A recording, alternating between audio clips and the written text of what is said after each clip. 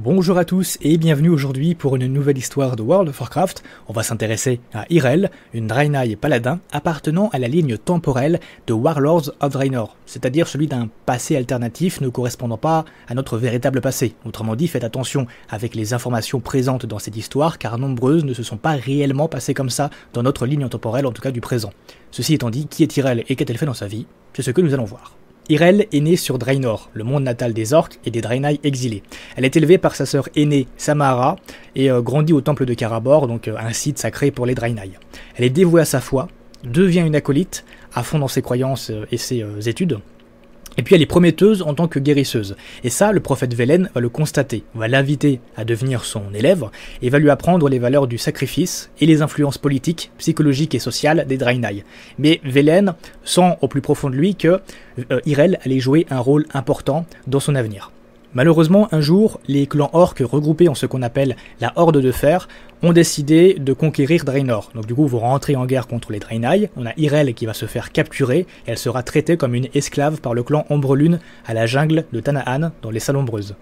Elle tuera sa gardienne, donc l'orque Ankova la déchue pour se libérer, avant que le héros d'Azeroth, donc nous, euh, héros de l'Alliance ou héros de la Horde, allons faire sa rencontre, donc lors de l'assaut menant sur Draenor, c'est le début de l'extension Warlords of Draenor où on passe par la porte des ténèbres, et en fait Irel se joindra à Khadgar et ses troupes, et principalement côté Alliance. Elle accompagnera du coup l'Alliance à bord d'un vaisseau de la Horde de Fer qu'on a réussi à récupérer, à voler, allant dans la vallée d'Ombre-Lune pour établir le, fameux fief, hein, à Chute-Lune. De là, Irel va accompagner le héros de l'Alliance au village d'Ambahari, là où vit sa sœur Samara, qui est d'ailleurs partie de son côté pour combattre les, orques du clan Ombre-Lune. Irel, du coup, va rejoindre ensuite Velen à l'observatoire de Teluna, et on va constater que le chef du clan Ombre-Lune, donc Nerzul, c'est un orque, eh bien, est en train de capturer les Draenei, dont Samara, la sœur d'Irel, et en fait, Irel ici va tenter de l'attaquer mais on a Ner'zhul qui va s'enfuir avec euh, les prisonniers à Chasgoul, en nous laissant avec Carnot, donc un éclat de l'étoile noire. Donc pour faire simple, l'étoile noire, c'est un Naru qui s'appelle Kara, qui a perdu de sa lumière pour pencher vers le vide à l'époque, et qui se situe à Ombre-Lune. Et en fait, le clan Ombre-Lune va invoquer le pouvoir de l'étoile noire, en tout cas vont l'utiliser pour avoir accès à la magie du vide, et ainsi bah, relever euh, des, morts morts-vivants, et puis contrer euh, les Draenei. Mais du coup, revenons à Irel. Elle, elle va aller à Chasgoul, là où s'est barré euh, Ner'zhul bah, pour le traquer. Avec des événements de guerre qui s'y déroulent, elle finira par retrouver sa sœur, donc Samara, qui malheureusement est en train de mourir de ses blessures. Donc elle va assister à la mort de sa sœur. Et Irel va se jurer à partir de ce moment-là de devenir forte pour protéger le peuple des Draenei. Ensuite, elle retrouvera Ner'zhul pour le vaincre, mais en fait, Ner'zhul va invoquer la puissance de l'étoile noire, comme on peut le voir sur l'image.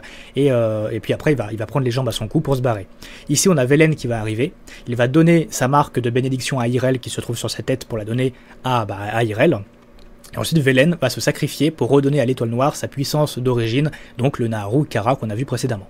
À partir de ce moment-là, on a Irel qui passe d'une simple acolyte au stade d'un redresseur de Thor, et on n'a pas trop le temps de pleurer euh, Velen, puisqu'on a, la Horde de Fer qui est en train d'attaquer le temple de Karabor. Donc Irel va aller au temple de Karabor avec l'aide de Kara.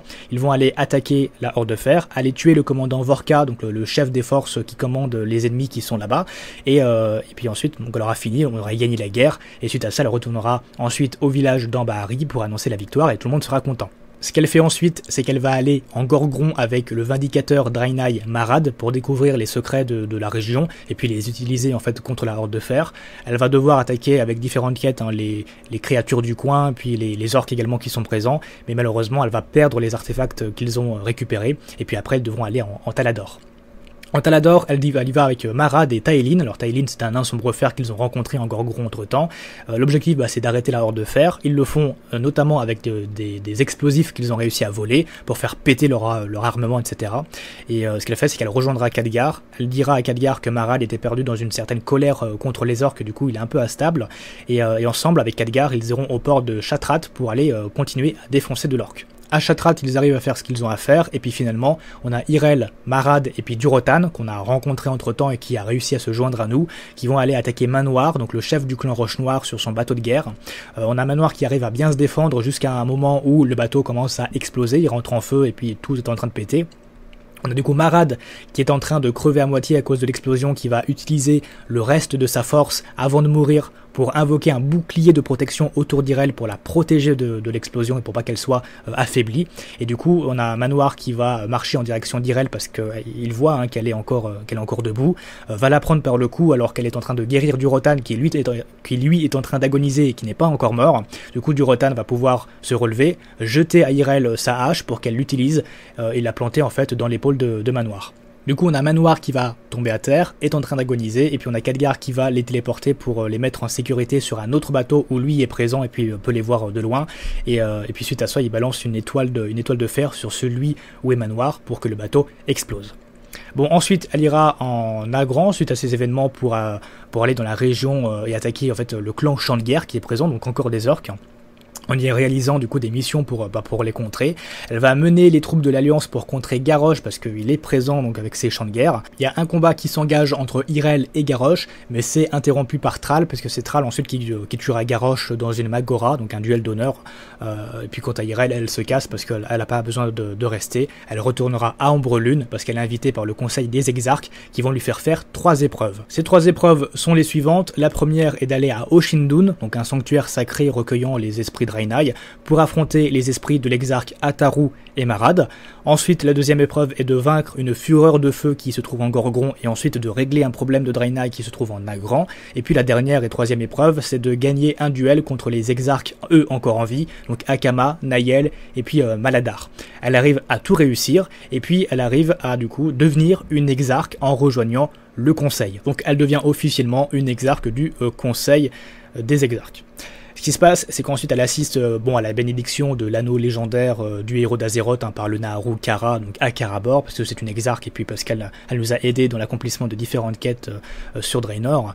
Et puis ce qui se passe après, c'est les événements les plus importants, c'est la fin de Warlords of Draenor, puisqu'elle participe avec l'Alliance à l'attaque sur la jungle de Tanaan, où elle sera présente aux côtés de Khadgar et Gromash pour contrer Archimonde, donc qui a été invoqué par Gul'dan.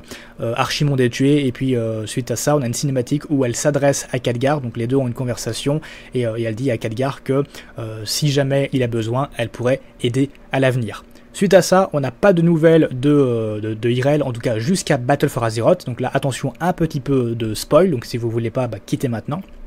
Mais en gros, elle serait de retour avec le scénario notamment des orques Magar. Elle est devenue apparemment haut exarque des Draenei et d'orques imprégnés de, lumière. Ils vont essayer de répandre tous ensemble la lumière de, partout, notamment sur Draenor, hein, parce que c'est là-bas où ils sont, euh, et même par la force. Même par la force, ce qui veut dire qu'il y en a qui sont pas du tout d'accord avec ça, et qui n'ont pas envie de se faire contraindre à utiliser la lumière, ou en tout cas à devenir un être de lumière.